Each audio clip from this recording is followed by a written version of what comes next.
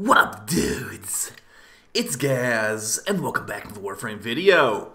So, Happy New Year! We got the first weekly reset of 2024 here, and yeah, we're going to be starting a great new year in Warframe. Tons of new stuff on the way, such as Warframe 1999, full cross save, uh, you know, Whispers on the Wall, Gauss Prime, etc., etc. And I'm not even expecting Infested Liches this year too. So let's get into this weekly reset before I get too excited and start just blabbering on. Uh, hopefully you enjoy these videos. We do them every single week. Also, I'm usually live after this video goes up every week on the live stream, but there will be no live stream tonight. I'll be out partying, so hopefully you guys have a great time farming stuff out. Let's go over this weekly reset, and I'm going to go head out and eat some good food. All right. But yeah, uh, we do these videos every week. If you enjoy these types of things, just make sure you stop by every week. All right, for the first weekly reset item, we got uh, 3x Forma Tactician for 75 Steel Essence. Not exactly worth it to me, but if you need some Forma and you have a bunch of Steel Essence sitting around, go for it. The other stuff here is the Evergreen Kuva and Relics down below. So yeah, DE is actually on vacation. I don't know how long they're on vacation for. I'm guessing it'll be like the second week of January. Uh, the reason I'm saying that, the reason I actually care about that is because that's going to be they're going to be opening the floodgates again for more players to be on the cross save. Uh, know, like get their accounts cross save merged and all that. Right now, it's not open. It was open for like a couple days. Uh, but yeah, when that comes back, get ready for a massive player number spike.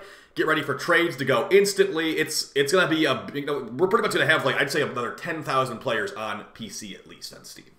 So yeah, it's been going really good. Uh, Warframe is in a great place right now. We have the Whispers in the Wall update. Uh, it's been pretty fun. It's got some problems. It's not perfect update, but players have been enjoying it a lot, and a lot of players are coming back to the game. They have been like gone since like Fortuna or whatever. So that's been great uh, to explain all the missions they have to get come back to. You got that open world, that open world, this Duviri, that Zariman. But yeah, let's go over to the Acrithis weekly wares, see what she's got. And just a reminder, this stuff's not usually super worth it, but in case you are interested in it, we do have a we have a Orokin reactor blueprint for 20 Pathos clamps. We got a shotgun ribbon for 15 Pathos clamps. We got a Forma blueprint for 10 Pathos clamps. 5k Kuva for 10 Pathos clamps, and a melee ribbon mod for 15. So the only thing that's remotely worth it here is maybe the Orokin reactor if you don't want to spend 20 plat on it or like do an invasion or something like that. Uh, the rest of these, not really super phenomenal. Uh, but yeah, that's what it is. Those will rotate weekly if you are interested in that. There was somebody that one day that was interested in that, and you know what? It does technically rotate weekly. You are right. It will probably be in there uh, for the foreseeable future. But yeah, as far as the Archon Hunt and all that, guys, Netracells have not been buffed, but your Netracells did reset today. Every weekly reset, the Netracells do reset. You can do your five for the week and get your five silver melee fortification arcanes and uh, maybe get some armor. But uh, moving on to our uh, circuit stuff, let's see what we have for normal frames you can farm. Okay, so for normal frames, we've got we've got Ash, Frost, and Nyx. Uh, from what I remember, I remember Ash being very annoying to farm nowadays in Railjack missions. So I'd say definitely go for him. But as far as where the other frames come from, Nyx comes from Forid, the infested invasion boss, and Frost comes from, I believe it's the, is it it's not Tyl Regor. It's not Tyl Regor. It's the, uh, the the hammer guy. What's that guy named? Uh, Kril. Lech Kril, I believe, drops Frost. Uh, and yeah, he's not very hard to farm. But Ash is annoying to farm. I believe he comes from Railjack. So go ahead and pick him as your hardest to farm frame this week if you're doing the normal path circuit. For the steel path circuit, let's see what we got. We got our Incarnon. We got the Latron Incarnon. We got some good ones this week. It's gonna be a hard suggestion. Just a reminder: if you are rank nine with the opportunity intrinsic, you can now pick these things as starters instead of Incarnons each week. But for our Incarnons, we got the Bo Incarnon, the Latron Incarnon, the Furis Incarnon, the Furax Incarnon, and the Strun Incarnon. So it's going over what all these do.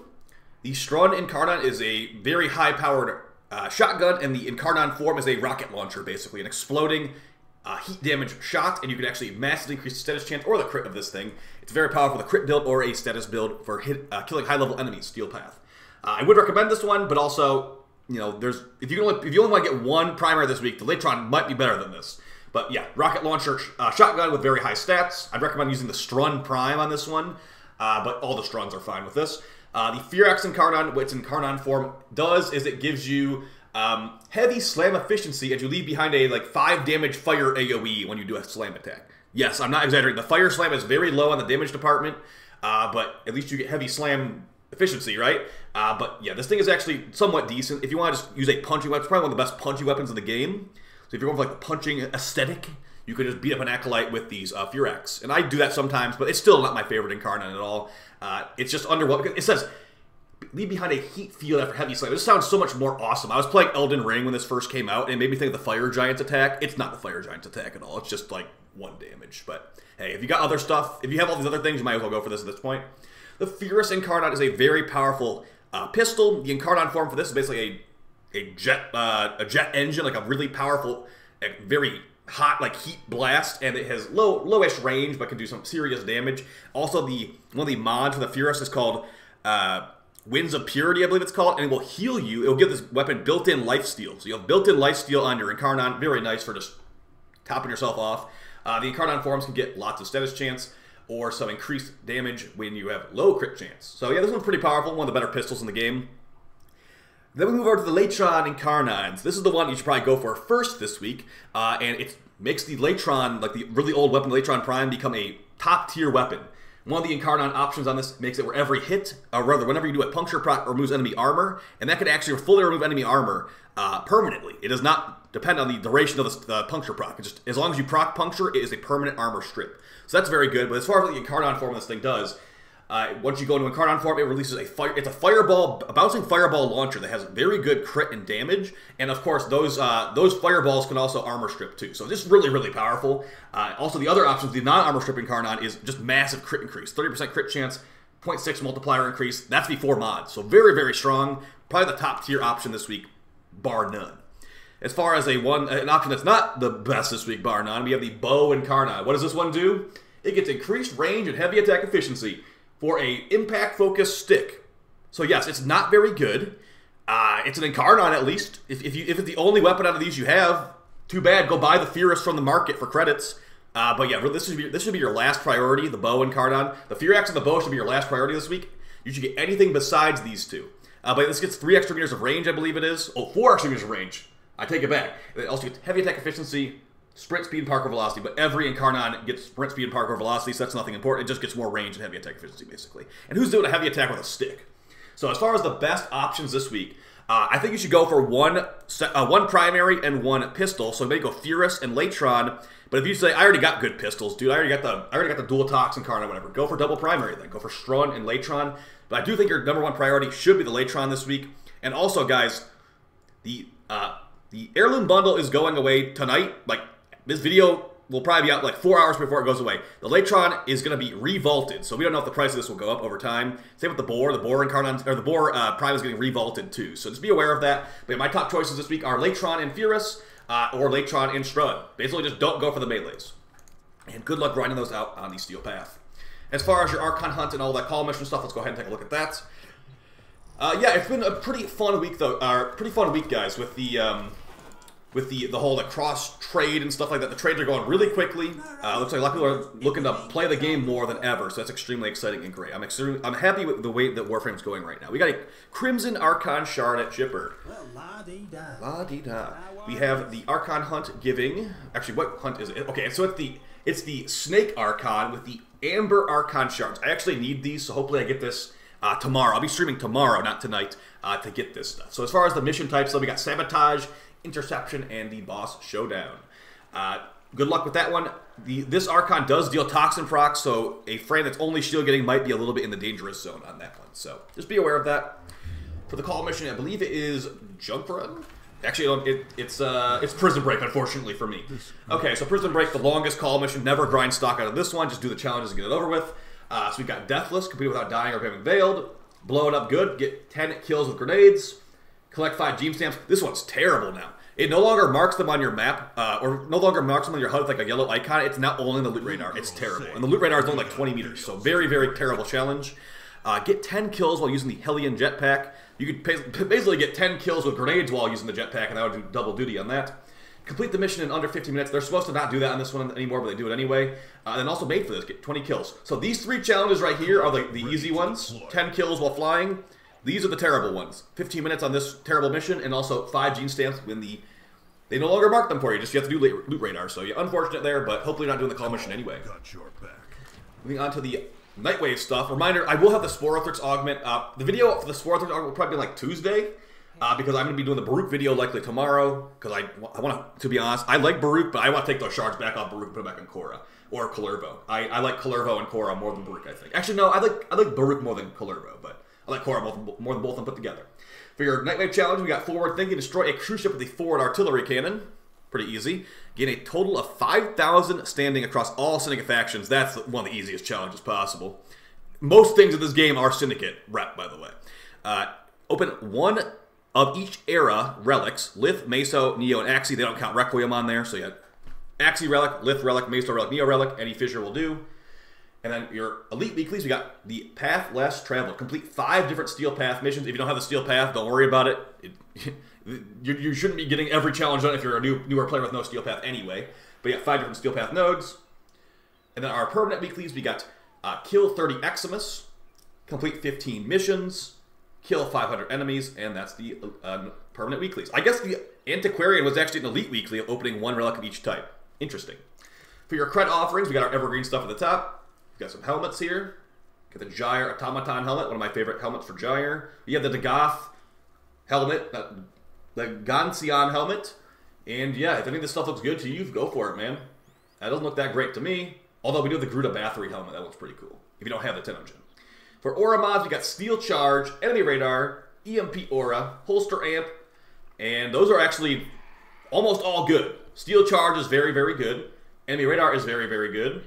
Holster Amp is very, very good, and EMP Aura is never used. So, yeah. And also, Enemy Radar is not needed as much as we have built-in Enemy Radar nowadays.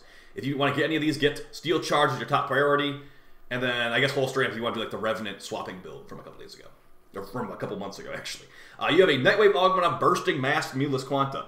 The mass uh, accumulates 200% of the damage done and deals 15 meter radius upon it expires. Secondary fire will manually detonate the existing mass. It's for the Mutalist Quanta. It makes the uh, the like bubble thing it blasts out explode and absorb damage. So maybe it could have some use case at some situation, but it's not really a must-have mod. Get it if you want to try out something goofy. We do have the Ceramic Dagger here this week. Ceramic Dagger blueprint in the Nightwave store, so that's great.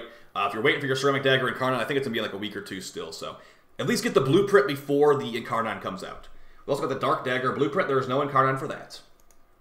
For your Conclave Augments, you got Purging Slash or Excal, Recharge Barrier for Volt, Power of 3 for Ivara, and Prism Guard for Mirage. Out of all of these, the most useful one is probably Prism Guard for Mirage, and the Power of 3 for Ivara is okay, but just not really necessary. Uh, so yeah, I'd say go for Prism Guard on Mirage. Alright, so let's go ahead and look at the uh, helmet stuff, and we can talk about the upcoming week, basically. But yeah, it's um, it's going to be a pretty normal week in Warframe. I'd say we're just not going to have any DE in the DE is not going to be in the studio, so don't expect any of the hot fix or anything like that. Just keep grinding out your Hydroid Prime, keep grinding out your uh, you know your your Mesa Prime. That stuff will be unvaulted for another couple weeks, and then we'll be on to Saryn, Volt, and some other characters too. So. I really appreciate the support over the years, guys. Uh, it's been really, really. Uh, I've been enjoying making content a lot for you guys, and I hope that you enjoy watching it too. Because I am planning on making a video every single day in 2024, uh, and I pretty much did that in 2023, but I did miss a couple days here and there. So let's hope I don't get super sick at any point, and I can just make a video every single day for you guys in 2024. Thank you so much for all the support. Let's go over the invigorations before I go to that party. All right, so what we got? We got Baruuk. Oh man, we got a good one. 100% increased ability range for Baruuk and 1,000 armor. Well, too bad I'm not using that for my video tomorrow, but uh, yeah, extra range in Baruuk is great for uh, using his sleep ability to cover more area. I was using uh, Wrathful Advance from Kullervo on him, so I guess more teleport range technically too. A thousand armor is not really that needed, as he can shield gate pretty well, but hey, extra range is extra range. I will take that one. Moving on to Khora. Oh darn, I wish we could kind of switch these ones around. I got secondary damage for Khora and 200% energy max. I guess the energy max is nice, but I'm, I'm usually using the Grimoire on Khora nowadays, and that is not really a DPS weapon. I'll take the energy max for, you know, spamming more abilities, but yeah, not a very good one for Khora. And then the last one for Ivara, Oh man. Okay, well, I might have to do a level 10,000 Ivara this week then, because increased primary crit chance and increased ability efficiency. This will make it where Ivara drains like 0.2 energy per second in her in her cloaking, and also it will make a massive primary crit chance increase for one-shotting level 10,000 enemies. It's not going to work on the the kunai for her, but I, you know? I use the kunai on Ivara a lot, so maybe I'll use the Dread or something this time. So maybe expect an Ivara at least level 10,000 mission on stream, maybe a video as well. But yeah, guys, I appreciate all support. Lots of videos coming out this next week. Uh, make sure you are, you know, taking some time to relax as well if you're just grinding these events really hard. Gargoyles Cry is going to still be here for another week or two. Oh yeah, if you got this far in the video, uh, just a reminder, Gargoyles Cry, those curses reset weekly, guys. It's not just a one and done kind of thing. So go to your dojo, this percentage right here is going, it's at 66%. So go to your dojo and turn in your, your curses, and we can get closer and closer to getting that, uh, that cosmetic unlocked community wide. So yeah. Uh, if your clanmates aren't signing in or whatever, it's probably not going to matter. It only takes, takes like one person per clan to turn these in to get it all maxed out anyway. But just make sure that you're doing that at some point during the week. If you don't, you will not get the maximum tier trophy. And also, um, you know, basically, we will potentially we would not have enough progress if not enough clans sign in to uh, to get the uh, to get the cosmetics. Let's see if I can even turn it in. Contribute. Oh, nobody, somebody didn't turn them in. Okay, I actually get to turn these in for the first time in like weeks. Cool. Such exquisite despair. So yeah, that is you should be doing that every week. We are 66% to this, and we'll probably you'll probably have like one week to buy this at the end, guys. All right, I'll see you next time. Happy New Year. You guys take it easy, and I will see you very soon. All right, bye bye, guys. Later.